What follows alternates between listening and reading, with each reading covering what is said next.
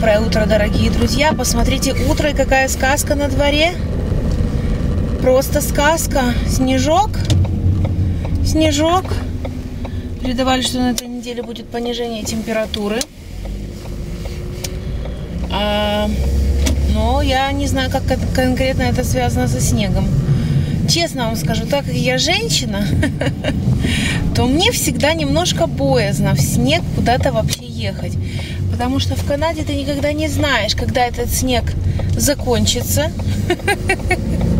Вот. И он может так нежно, медленно падать, но может так нападать, что дай Боже, дай Боже. Надеюсь, он немножечко выпадет, и на этом все закончится. А, потому что, знаете, э, как сказать, чего боишься? Боишься застрять. А, в данном случае я буду в городе. В городе это все не страшно, потому что ты едешь по дорогам, которые все расчищены и присыпаны солью. Ну, какое-то вот такое состояние всегда. Ты сразу, может не ехать, это первая мысль такая, может никуда не ехать. Но, по идее, все должно быть окей. Сегодня у нас понедельник. Начинается последняя неделя перед а, рождественскими каникулами. А, слава богу, что в моей школе, в которой я учусь, это совпадает а, со школой моих детей, поэтому мы на каникулах будем вместе. Мне не нужно думать о том, э, где бы найти мне сиделку или что-то такое, бэбиситер, которая будет с детками. Поэтому, слава богу, мы будем все вместе. Поэтому, конечно, я уже начинаю продумывать какие-то активити, которые мы будем делать, потому что, как известно, если, ну, по крайней мере, моих детей, я точно знаю, если, ну, и особенно старшего сына, если не давать задания, не занимать его как-то, то он сам себя вряд ли займет, он будет просто ходить и ныть, что он хочет играть. Ой, просто сказочные, сказочные виды, особенно домики, которые украшены, вот этот вот снежок, просто прелесть. Поэтому, конечно же, вы знаете, у меня на летних каникулах, как правило, всегда есть э, программа. Вот. И э, программа расписана, ну, не поминутно, но по, часа, по, по, по часам. Что хочется сказать? Это не значит, что мы выполняем абсолютно все, что я себе планирую. Потому что есть сбой, иногда ребенок делает что-то медленнее, чем ты предполагал. Иногда э, вообще что-то отменяется, иногда вдруг меняются планы, и мы, например, куда-то едем или идем.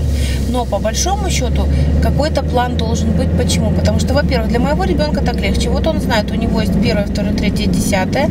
Вот это он сделал, это здесь у него break time. В этот break time а, он может, например, ну, я не знаю, вылеж, выйти там, я не знаю, поваляться на снегу или посмотреть там, я не знаю, мультик или фильм какой-то. Сейчас вот он в Netflix смотрит. Мы с Костей его давно пострели, он сейчас для себя нашел вот этот вот э, Brain Games. Очень интересный такой э, шоу э, с эпизодами. Там объясняется, как наш мозг воспринимает, например, то, что он видит. Да, как мы воспринимаем, и как это есть в жизни на самом деле. Вот как бы такой обман мозгов, как нам делают с помощью вот этих знаний, как это работает в нашем мозгу. Ему это очень интересно. Например, может такой фильм посмотреть, или там, например, ну я не знаю, еще что-то, или попросить плейдейт, например, к нам кто-то придет поиграть, или, например, его пригласят, он куда-то пойдет поиграть. То есть, по-любому, вот эта программа, она должна быть расписана, а, потому что если она не будет расписана, то, во-первых, я буду нервничать, потому что он будет вот это вот стонать, ходить, и, и какой-то в конце я знаю, что буду чувствовать какое-то неудовлетворение, что я что-то не додала, что-то, может быть, можно было сделать по-другому и так далее. А младший ребенок, э, во-первых, сейчас она уже тоже в школе, она очень много понимает и знает, как вещи должны делаться, например, если это цифры или буквы, ей все это невероятно нравится. И эм, она с удовольствием всегда садилась с нами и, конечно, не делала то же самое, что мы, но, например, всегда она либо рисует, либо что-то разукрашивает. Сейчас я для нее тоже купила брошюрочки такие, брошюрочки, брошюрочку одну, э, которую я, в общем, надеюсь, она уже будет с интересом и пониманием смотреть и э, по ней заниматься. Каникулы очень-очень жду, чтобы просто элементарно утром знать, что тебе не нужно бежать никуда, одеваться, вот это переодеваться, вот эти ланчбоксы готовить конечно же, вот кто этим занимается так же, как и я, конечно, поймет меня, что это просто такая рутина, которая очень задалбывает на каком-то этапе. Ну вот.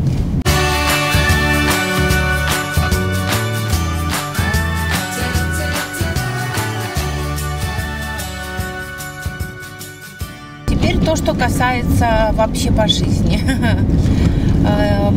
Вот сегодня еду на учебу. Опять-таки, как я и сказала, последний день перед каникулами.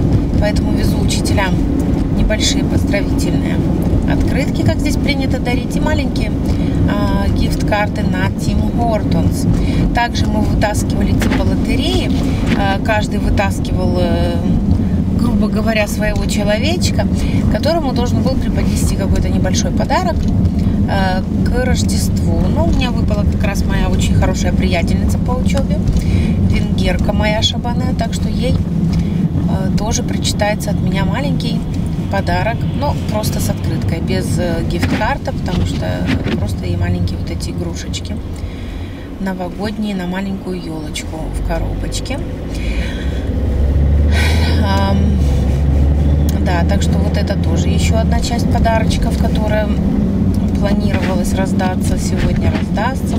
Потом сегодня, по идее, я а, попадаю еще в Костка, поэтому будет отдельно, я надеюсь, обзор Костка, потому что тут у меня сегодня немножко по часам накладочка получается. Не знаю, как там все это получится у меня.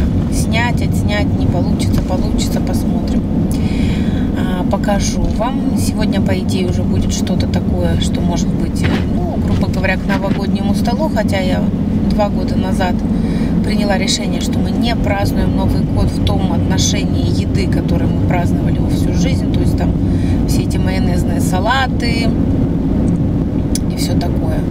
Этого всего не будет. А вот, так это было принято мной решение, потому что, ну, проблема с желудком кости, и э, кому оно нужно, да. Вот, поэтому это то, что касается стола. То есть будут какие-то легкие закуски, мы любим с Костей пиво выпить, поэтому будут какие-то закуски к пиву. Вот. В прошлом году, в принципе, я сказала то же самое, но оно так и было.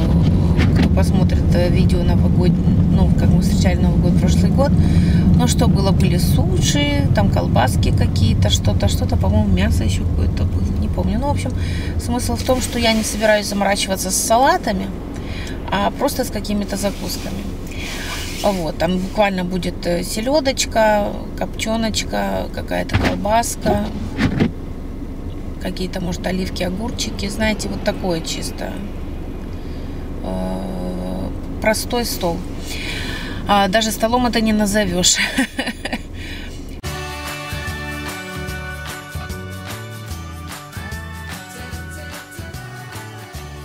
Потом вчера, значит, э, прошел замечательный вечер, неожиданный. Почему он был замечательный? Потому что мы с Эдошей планировали, у нас вчера был концерт, крисмас-концерт э, не студенческий, как Эдошка, на котором выступал, а э, учителей есть Крисмас концерт учителей. Выступали учителя, так же, как и в прошлом году. А, также был концерт вчера. Почему он для меня стал неожиданностью? Потому что мы поехали все вместе. И для меня было очень большой приятностью, что моя маленькая доченька Габриэль высидела практически два часа концерта. Вот. Э, конечно же, в конце она уже крутилась на, на, на моей ноге, она уже лезла к камере, она уже там сказала, мама, я уже устала. Но по большому счету она не кричала, она не плакала, она не капризничала. И она высидела с 6.30 вечера до 8 часов, э, там с копейками. 8.15 закончился. Она молодец, она отсидела, но и Дошка-то понятно, что он уже просто герой, он знает, что это просто нужно высидеть. Потому что, знаете, на каком-то этапе как бы замечательный концерт и веселый не был, начинаешь подуставать. Вот. А, а ребенок, я имею в виду. Так что Эдошка высидел, но Габи меня просто поразила. Какая молодец, маленький четырехлетний ребенок высидел э, два часа э, концерта, причем концерта непростого. На самом деле в прошлом году, вот я должна честно признаться, концерт мне понравился больше. Почему? было именно рождественский концерт, то есть рождественские песни, причем как современные, так и классические. Э, прекрасная вот эти вот вся игра на, на, фортепиано, которая происходила. То есть в основном все было такое. Прекрасные, замечательные крисмовские мелодии, напевы и так дальше. Буквально было, может быть, четыре человека, которые вышли и сыграли ну, чисто классический вариант в плане э, там еще и, там, допустим, 17 века, да, 17-18 э, век. А остальное все было современное, и там было очень большое разнообразие. То есть и пели, и разные инструменты были. Э, плюс шикарно было, когда вот этот Christmas Carol, эм, ну вот это самое популярное, называется Christmas Carol, э, когда они все учителя вместе вышли по всем предметам, эм, по всем предметам, по всем инструментам, то есть и скрипка, и пианино, и, в общем, гитара, и все, что там было. Когда они все вместе вышли, а это примерно около там, ну, чтобы вам не соврать, порядка, там, я не знаю, 20 человек, и они все, просто ансамбль вот это вот сыграл вот этот Christmas Carol. Э, если я вам найду, я, я вам вставлю этот кусочек.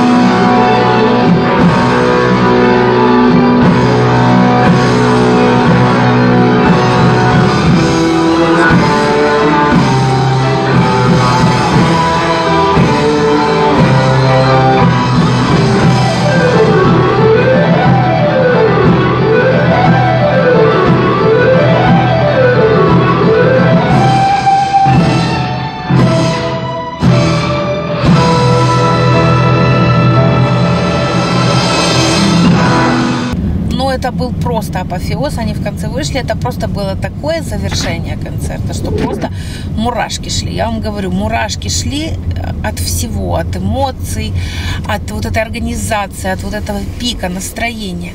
Вчера концерт был немножко другого плана, он был эм, просто классический концерт, то есть игрались произведения 16, 17, 18 век, современников практически не было. Эм,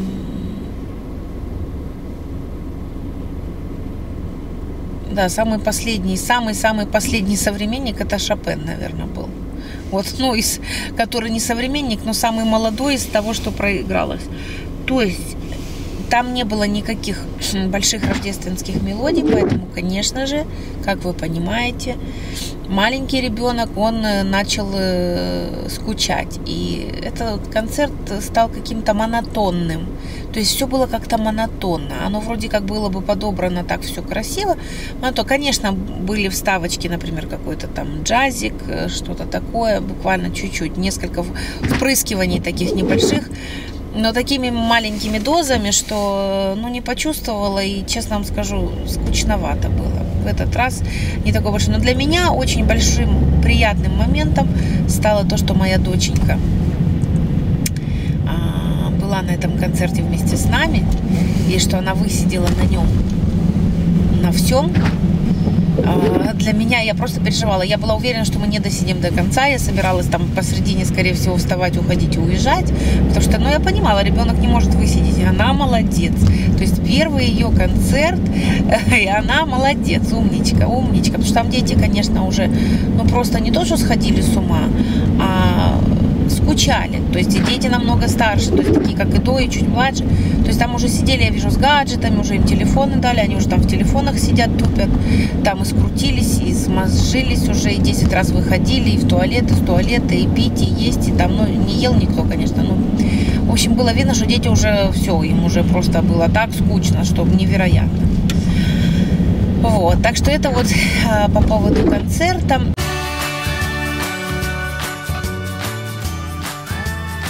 Ну и на сегодня, я думаю, последняя новость, которую бы я хотела вам сообщить. Кому, конечно, это будет интересно. И не такая-то большая новость. Вот. Но э, такое вот сообщение. Костя немножечко так пришел в себя и по многочисленным э, заявкам и просьбам меня спрашивают, Инна, где Костин канал, почему ничего не выпускает. Действительно, уже, наверное, больше года ничего не выходило на его канале. Э, он решил вернуться. Э, опять-таки, идея сохранилась та же, которая была при прошлом практически возвращение, которого не произошло 3 минуты, 3 новости, 3 минуты, а, хотя бы раз в неделю. Вот. Новости, когда я говорю, имеется в виду новости, канадские новости, да, какой-то его взгляд на, а, на эту точку. То есть такая у него как бы задумка, да, то есть это то, что бы он хотел. Как получится, никто не знает.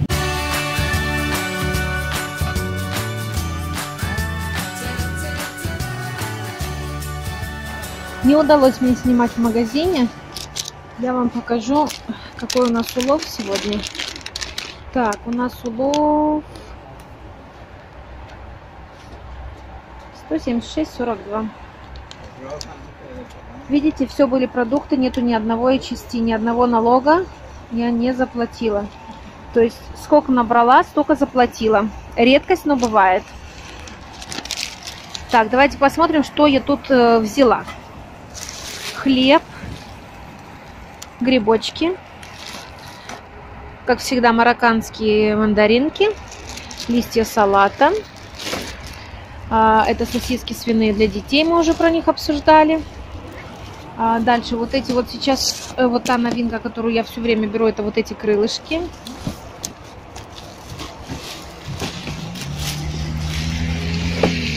А, так, ну это обычный квакер.